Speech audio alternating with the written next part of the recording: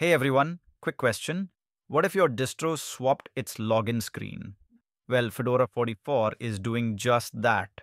Fedora is said to be the first distribution to ship KDE's new Plasma login manager as the default, and yeah, that means goodbye SDDM for now. So here's the deal Fedora 44, scheduled to release on April 14, 2026, will ship Plasma Login Manager or PLM as the default login screen for all KDE variants. That replaces the long-time default SDDM. Neal Gompa, a Fedora contributor and KDE packager, proposed the change and Fedora's engineering council approved it.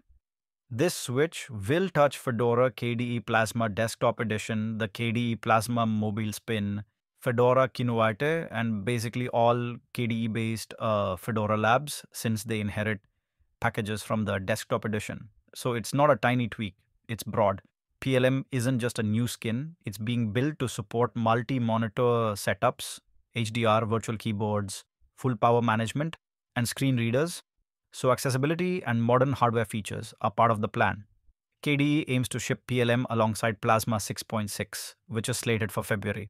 Sounds promising, right? Now for the reality check.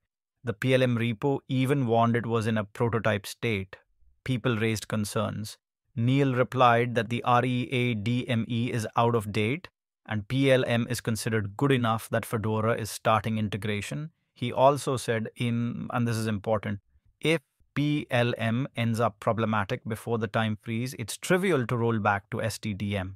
So Fedora has a fallback.